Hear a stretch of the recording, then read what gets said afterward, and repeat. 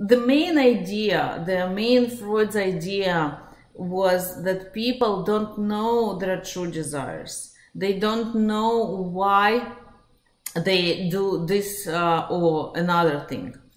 And as if you can see on this uh, slide on the image, the white part is what we understand, is what we know. It's like uh, he's handsome, he's nice, I think he's a great man, we have same common values.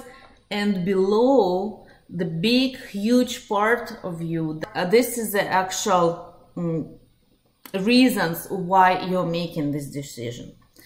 And examples can be um, the following.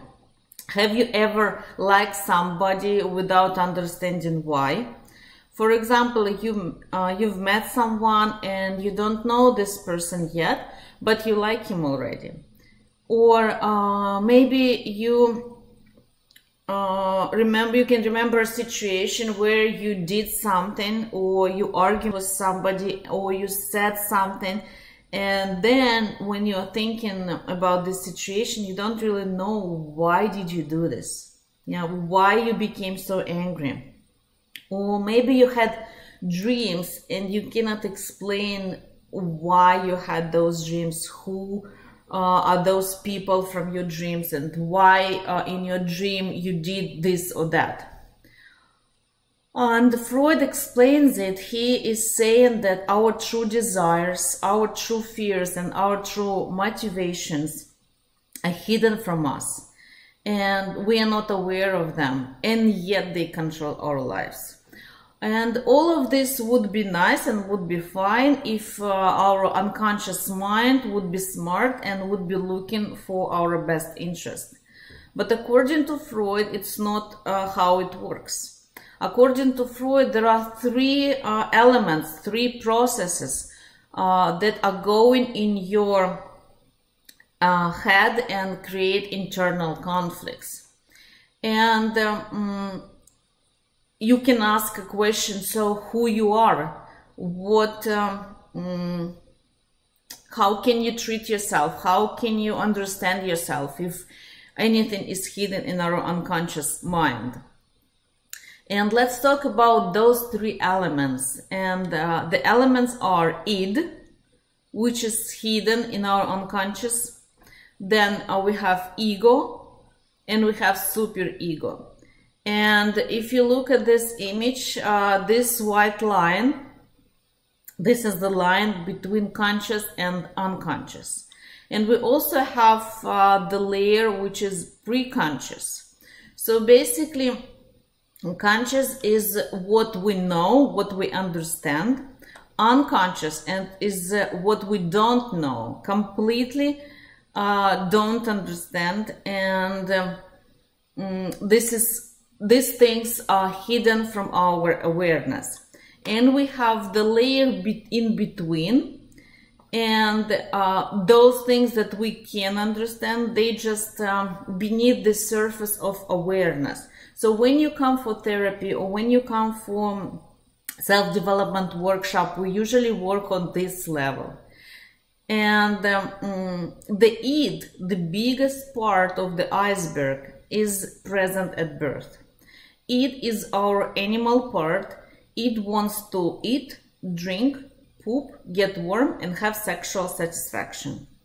And it works on what Freud called the pleasure principles.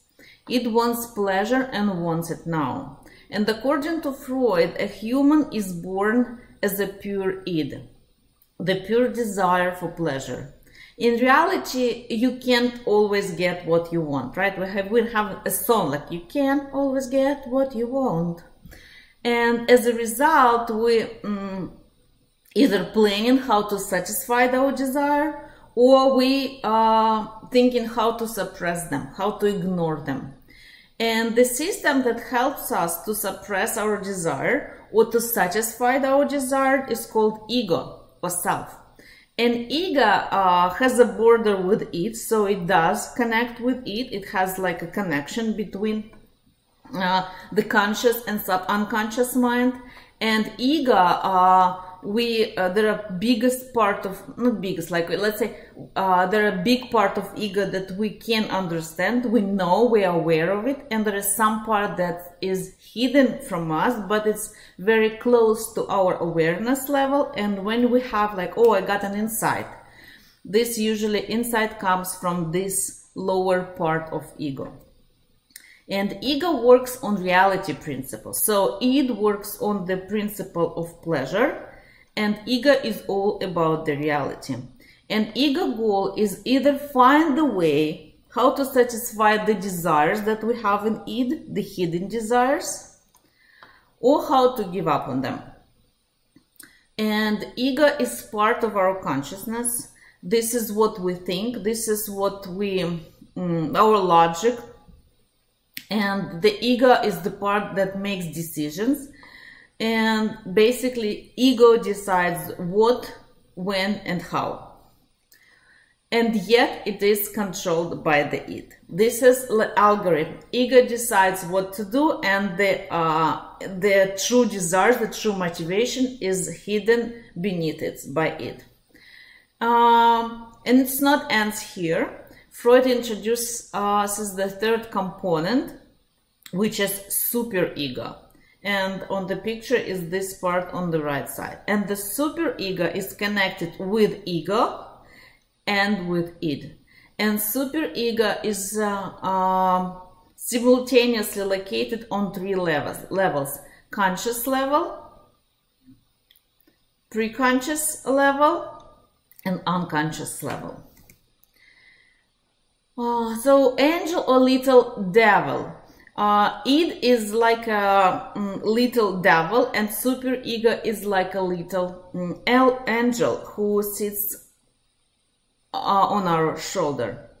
And super ego is our internal rules uh, which were given to us by our parents so uh, by the society and it's basically what is wrong what is right the understanding what i should do what i should not do how should i behave and how i should not behave uh, and the child is growing uh, up and wants to satisfy his desire but desires but sometimes he gets punished for them mm. his desires might be inappropriate or his actions might be wrong.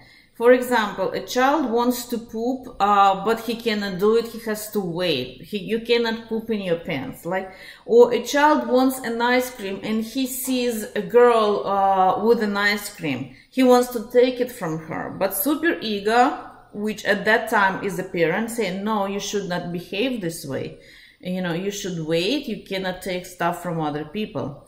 And then within time, this. Uh, super ego component uh, become internalized. And uh, now we hear our parents voices our teachers voices our society voices inside of us. And super ego is another part of our consciousness something that we can realize something we can control. We aware of this super ego of these um, norms and rules that we have and super ego is like a little agent, is like a teacher in school who is telling you what you should do and what you should not do. Um, super e uh, and ego basically when you have id on one shoulder and super ego on the other shoulder your ego is in between. And ego does not know what to do either to satisfy your desires or to follow the super ego rules so ego has a very hard and difficult job. And the id says, I want to eat, have fun, and have sexual pleasure. And super ego is saying, uh, you should be ashamed of yourself. This is disgusting. Stop doing it. And ego is like, oops, what should I do? And according to Freud, we don't even realize those processes uh, and we cannot control it. According to Freud, those processes are hidden from us and it works like uh, our external, internal organs like kidney, heart or stomach. We know about them, but we cannot really control them. And it is something that we have at our birth and ego and superego we develop in childhood.